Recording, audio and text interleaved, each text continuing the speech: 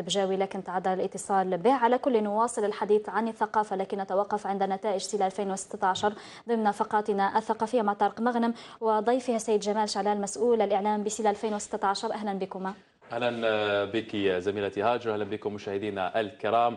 أهلا بك السيد جمال شعلال وهو مسؤول إعلام لدى بسيلا 2016 شكرا جزيلا على الاستضافة. أجدد مرة أخرى تحياتي لمشاهدي القناة ولكل الطاقم ولكم طارق وكل الزميلات والتقنيين اللي رافقونا خلال الأيام هذه تاع الصالون بقوة وكان حضورهم متميز فعلا.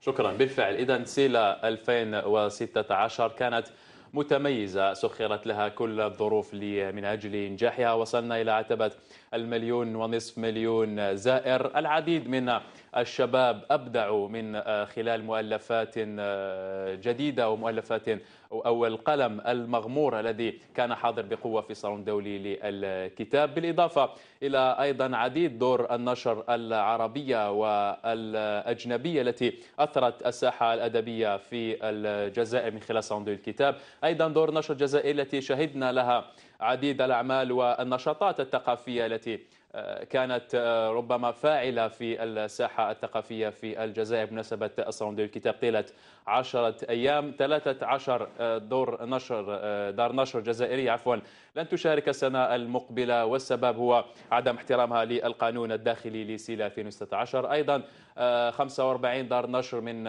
عدد من الدول العربية والأجنبية على رأسها الأردن مصر وسوريا. أيضا لن تشارك السنة القادمة لأنها خالفت القانون الداخلي وهناك عشر كتب التي تم التحفظ منها وجدت في رفوف الصالون الدولي للكتاب. كل هذا سيدي الكريم في سيلا 2016 يعني ربما مبدئيا تقييمكم بصفة عامة. والله نحن جد مرتاحون صراحة جد مرتاحون ليس فقط بالحضور. بالمشاركة ولكن بالنقلة النوعية التي عرفها الصالون السنة في مجال التنظيم نعم. الذي كان متحكم فيه إلى مستوى كبير جدا في مجال النقلة النوعية بالنسبة للمشاركين الذين بدأوا يعرفون الصالون بشكل جيد ويعرفون معالم الصالون سواء تعلق بالجمهور أو بالناشرين أو بالمنظمين الجمهور اليوم أصبح يأتي إلى الصالون يعرف دار النشر تاعو التي يقصدها يعرف ماذا يريد حتى الناشرين فهموا بأن الجمهور القارئ الجزائري الذي يأتي إلى الصالون ليس يأتي لشراء بضاعة بين قوسين وإنما هو قارئ يدرك تماما ما يريده وعليه هذا الناشر أن يتعامل معه بكل الاحترام المطلوب وأن يحضر له المطلوب وأن يحضر له الجديد والمتميز من الإصدارات الأدبية والفكرية أو الأكاديمية وغيرها. نعم لو نتحدث فقط قليلا ونقف عند دور النشر. الجزائرية قبل أن ننتقل إلى العربية والأجنبية. الجمهور نحن نقول له بأن خالف يعني يريد أن يعرف يعني ما هو القانون الداخلي. خلافات. نصح لك المعلومة لأن نعم. كاين فيه رقم اولا النظام الداخلي موجود يعني. إحنا ما نخبوا حتى حاجة. النظام الداخلي موجود في السيت إنترنت تاع لوسيلا. يقدروا الناس يطلعوا عليه ويعرفوا بأن هذا الصالون عنده نظام داخلي كما كل صالونات العالم. نعم. إذا حبينا نلحقوا المستوى تاع الاحترافية لازم تكون واضحة والناس لازم القارئ اولا الذي يأتي إلى الصالون ثم احتراما للكتاب. نحن لا نبيع سلعه ماهوش مكان. c'est pas une foire c'est un salon du livre الناس لازم تحترم الكتاب تحترم العلم وتحترم الثقافة. فهذا لا تنازل عنه. طيب العدد ليس كبيرا. إحنا سجلنا 45 مخالفة. نقول مخالفة من بينها دور نشر عربية وجزائرية. ما حبيناش احتراما لضيوفنا واحتراما للناشرين الذين لا نعتقد بأنهم تجار أو قدمنا لهم إعذارات. وقلنا لهم 24 ساعة يرفدوا الكتب من الأرض. هذا هو المشكل. نعم. الكتاب لا يوضع في صالون الجزائر على الأرض. هذا ما ماهوش سلعة ماهوش حاجة تحط على الأرض. الكتاب يحترم يوضع فوق الطاولات وعلى الرفوف. من قدمنا يوفر عفوا مقاطعة سيد جمال نعم. شعلال من يوفر هذه الطاولات؟ هل على دور النشر هي التي تقوم ب يعني أو لا هناك يعني؟ لا نورم لا نورم في كل صالونات العالم. لما تدخلي للصالون عندك الجناح تاعك عندك طاولة وزوج كراسي.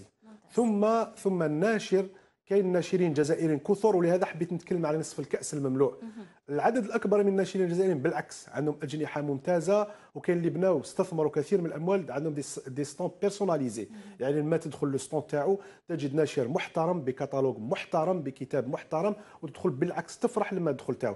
هذا البعض القليل قدمنا لهم إعذارات حتى يعني احتراما لهم. الكثير منهم أغلبيتهم التزموا أحضروا طاولات ورفعوا الكتب. العشرة المتبقية التي لم تحترم لن تشارك في الصالون السنة القادمة وقد أعذر آه، من آه، من أنذر. من أنذر نحن آه، نطبق القانون حتى لا يتحول هذا الصالون إلى فوضى ولكن مع ذلك نسطر نقول بأن هذا العدد elle est très minime هو قليل جدا بالمقارنة مع ألف عارض وأغلبية من العارضين اللي قدموا لنا des stands تشرف الجزائر وتشرف نعم. صالون الجزائر الدولي للكتاب إذا تم حجز عشر كتب أو عشر عناوين تم التحفظ منها وجدت بين آه، رفوف الصالون ذوي نعم. الكتاب. لو آه، نتحدث قليلا حول هذا الموضوع. إحنا إحنا هذا باش ناكدوا مرة أخرى بأن الكتب التي تعرض في صالون الجزائر الدولي للكتاب تخضع لقانون. نعم. وهذا القانون معروف ويعني لا نطيل الحديث فيه. وهذا القانون مواده مواده ليست بدعة جزائرية.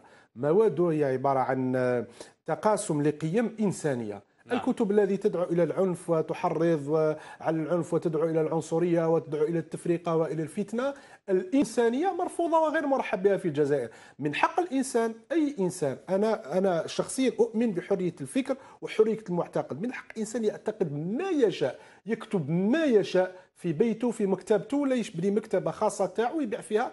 هو حر في ذلك. أن نعم. يأتي بهذه الأفكار الهدامة إلى الصالون هذا غير مقبول.